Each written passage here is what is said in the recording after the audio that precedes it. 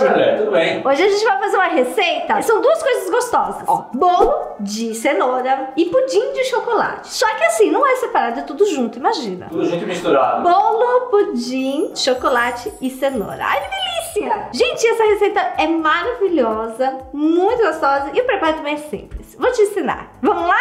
Vambora.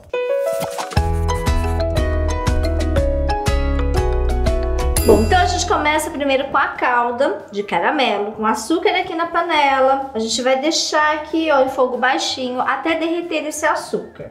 Eu gosto sempre de ir mexendo aqui, ó, pra fazer a troca de calor e derreter mais rápido. Não pode ir só ali, ó, de vez em quando, dar uma mexidinha, só pra não queimar embaixo.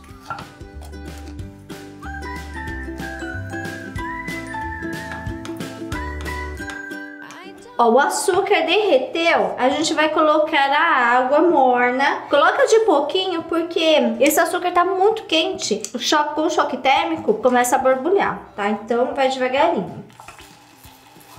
Ó.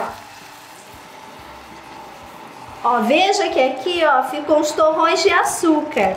A gente vai deixar mais um pouquinho, fogo baixo, e até esses torrões de açúcar derreterem por completo. Ó, gente, a caldinha já tá pronta, já derreteu os torrões de açúcar. E agora a gente vai colocar na forma. Eu vou fazendo essa forma aqui, ó, forma de bolo, ó, grandona. Ela tem o tamanho de 24 centímetros de diâmetro. Aí vou colocar no fundinho, tá? Essa calda. Vai ser a calda do nosso pudim. E assim, gente, eu fiz aqui a calda na panela. Mas se você tem prática, pode fazer também já direto na forma. Mas eu não gosto muito porque você tem que segurar e eu acho desajeitado de segurar. E ela aquece a forma, né? E assim, na panela, eu faço a caldinha lá, despejo aqui e dá tudo certo, tá? Agora a gente vai deixar esfriando. Enquanto vai esfriando, a gente vai preparando o pudim que a gente vai colocar por cima. Bom, então agora para o pudim, a gente vai precisar de ovos, que eu vou colocar no liquidificador, leite, leite condensado e agora chocolate em pó.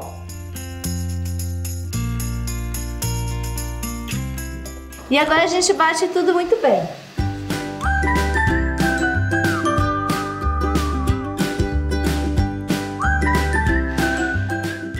O pudim já está pronto. E agora a gente vai colocar na forma.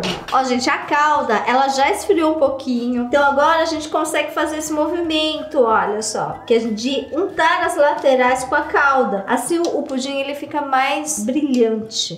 Tá vendo? A gente faz assim, com toda a volta. A gente pode fazer aqui no meio também, ó. Espalha a calda. Pudim é assim, né? Para todos os gostos. Para quem gosta de pudim com furinho, coloca assim mesmo. Para quem gosta daquele pudim mais lisinho, passa pela peneira.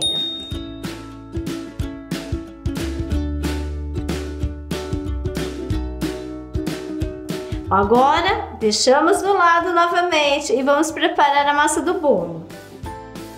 Vamos colocar os ovos na, no liquidificador. Cenoura, olha, crua mesmo, picadinha. Eu vou deixar certinho a quantidade na descrição do vídeo, tá? Lembrando que sempre é importante você fazer as quantidades certinho de cenoura para não embatumar. Óleo. E agora o açúcar.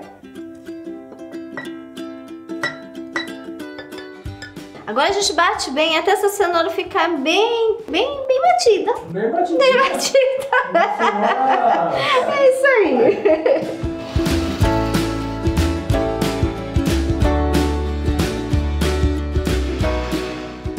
Pronto. Pra quem tá acostumado a fazer tudo no liquidificador, pode ser feito. Eu gosto sempre na hora da farinha de trigo misturar a parte numa outra vasilha. Eu acho que incorpora mais ar e aí o bolo fica mais fofinho também. Mas olha só já que cor linda. Aqui eu vou colocando então a farinha aos poucos e a farinha ela já está peneirada.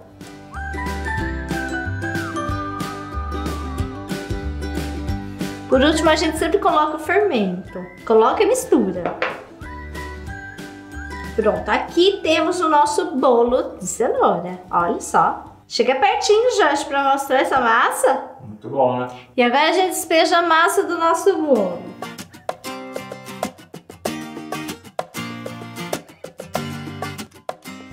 Olhando assim, parece que não vai dar certo, né? Mas dá certo. Ele vai se dividir. O pudim vai ficar numa posição lá embaixo e o bolo vai subir. Então, calma, vai dar certo. A gente coloca agora o papel alumínio sempre com a parte brilhante para baixo, sempre em contato com o alimento, essa parte brilhante. Fecha, vedando bem. Vou colocar numa forma maior pra gente assar em banho-maria. E aí a gente vai colocar água aqui nessa forma de baixo, porque ela vai cozinhar em banho-maria, como eu disse. Só que eu vou colocar no forno pra não correr o risco de derramar.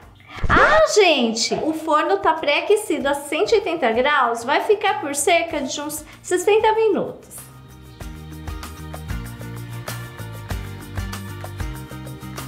E minha dica, hein? Coloque umas gotinhas de vinagre para não escurecer a forma. Gente, eu já retirei o bolo do forno, deixei esfriando, levei pra geladeira e a gente vai deixar na geladeira até gelar bem. Nesse caso, hoje é um outro dia, né, Jorge? É o dia seguinte. É o dia seguinte, então ficou de um dia pro outro. E agora sim a gente pode desenformar. Tudo isso por conta do pudim. Pega um prato aí, ó, lindão, e vamos desenformar aqui. Cuidado que tem a calda, hein? Não vai esquecer. Acho que não precisa nem passar a espátula. Ó como ele tá soltinho. Vamos ver? E é pra já. Uh! Ó, ouvi até um barulhinho. Aê, gente, olha só. Muito bem. Lindo, muito lindo. Olha só, Deu certinho, hein? Incrível. duas gostosuras em uma única receita, pudim e bolo de cenoura. Olha. Quer dizer, pudim de chocolate e bolo de cenoura. Olha, Eu tava duvidando que esse negócio ia sair assim. por cima ele não fica muito bonitinho, né? Mas depois, olha, você veja, olha como ele, quando a gente desenforma, como ele fica lindo. Legal. Ele se separa, fica a parte do pudim em cima, né? Quando a gente desenforma, e a parte do bolo embaixo. Reação química ou física, Jorge? É tudo, é tudo.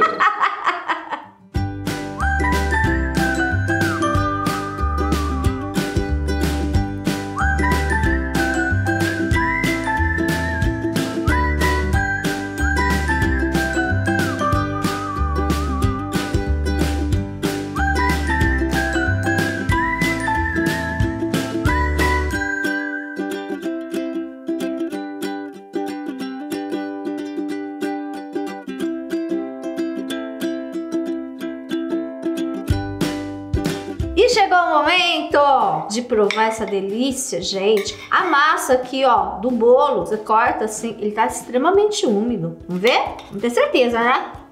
Hum. Gente, que delícia.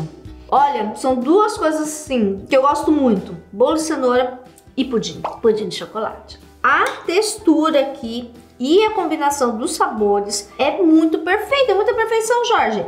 Bom, né? De comer pedindo mais, gente. Hum, incrível!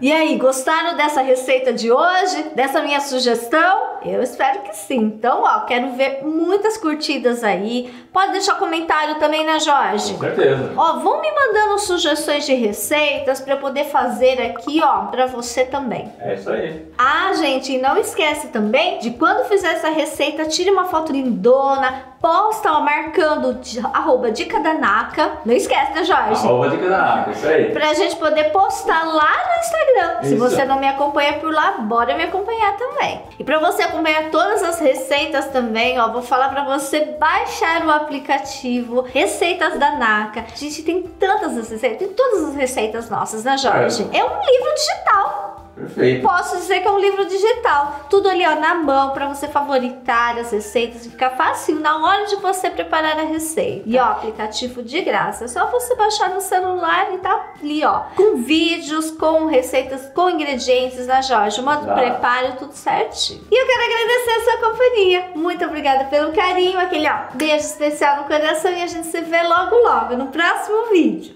Tchau!